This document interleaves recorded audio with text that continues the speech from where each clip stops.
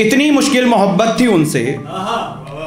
इतनी इतनी मुश्किल मोहब्बत थी उनसे, मैं कहने को राज़ी नहीं था, वो समझने को राज़ी नहीं थे।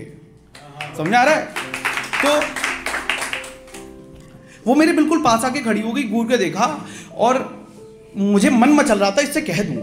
लेकिन एक डर था कि ऐसा ना हो जाए, ये लड़की छोड़ के भाग जाए। जितना बात करती, वो भी ना करे। तो कहानी क्या थी कि हमने मुँह पर उंगली रख ली, नैन विभीषण बोल गए। हमने हमने मुँह पर उंगली रख ली, नैन विभीषण बोल गए। जितने रास छुपाए दिल में, सारे उन पर खोल गए। हमने मुँह पर उंगली रख ली, नैन विभीषण बोल गए। तो उसने थोड़ा मुँह को फेरा, अब वो सामने खड़ी थी। उसने थोड़ा मुँह को फेरा हल्की सी मुस्कान भरी। दिल पे मेरे हाथ धरा और हंसकर पागल बोल गए। और हंस के पागल बोल गए। हमने तो हमने मुँह पर उंगली रख ली, नैन विभीषण बोल गए। जिनको हिंदी कम आती है, वो बाद में भी सुन सुन के गूगल से सर्च करके और सुन लेना, समझ में आ जाएगा धीरे धीरे करके, है ना? हाँ हिंदी, बड़ी समस्या है, हिंदी नहीं आती आजकल लोगों को। ये कॉन्वेंट वाले हैं, चौतालीस आते ही नहीं कितने होते हैं। बताओ कितने पे कितने चौतालीस होते हैं। है ना? तो ऐसा था कि शब्दों की औकात कहाँ थी?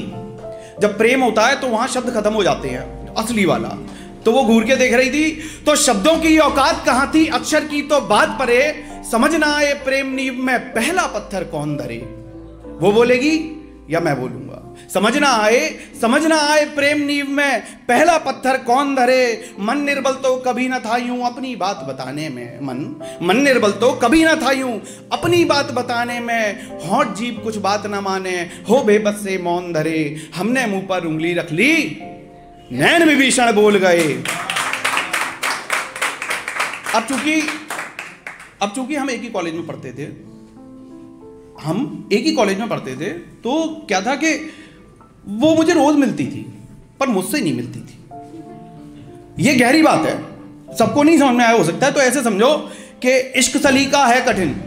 हमारे यहाँ ईश्वर में और इश्क में एक सलीका होता है। इश्क सलीका है कठिन, ये बात कायदे गौर। गौर फरमाना, इश्क सलीका है कठिन, ये बात कायदे गौर, और उनसे मिलना और है, उनमें मिलना और।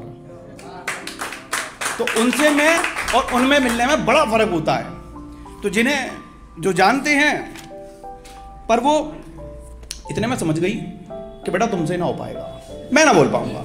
तो वो एक स्टेप आगे आ गई और रट्टा चलता रहा। सिलसिला चलता रहा, खुद से मेरा झगड़ा हुआ। गौर फरमाए कि सिलसिला चलता रहा, खुद से मेरा झगड़ा हुआ। ना छोटी मोटी बात थी रट्टा बड़ा तगड़ा हुआ। सिलसिला सिलसिला चलता रहा, सिलसिला चलता रहा, खुद से मेरा झगड़ा हुआ। ना छोटी मोटी बात थी। रट्टा बड़ा तगड़ा हुआ। फिर पास से गुजरी मेरे, फिर पास से गुजरी मेरे और ज़ोर देखा घूर कर तब से ही मेरे हाथ ने दिल है मेरा जकड़ा हुआ। तब से ही मेरे हाथ ने दिल है मेरा जकड़ा हुआ। और अब क्या था? दो तीन दिन हो गए उस बात को, वो पास से गुजरी और घूर के दिख के चली गई। मानो कुछ कहना चाह रही हो। तो एक दिन रात में मुझे नींद ना आए। अब जिससे हमें इश्क होता है, ना उसे नींद आती है और ना हमें नींद आती है। तो मुझे नींद ना आई, रात में दो बज गए। दो बजे रात में उसका टेक्स्ट आया, हाय, दिल थमासा रह गया, सब जम गया। तो मैंने पूछा, मैंने कहा, हेलो। तो मैंने पूछा, क्या चल रहा है? तो ना, वो लड़की क्या करने लगी कि जैसे सबके साथ होता है कि टाइपिंग कर कर मिटा रही थी।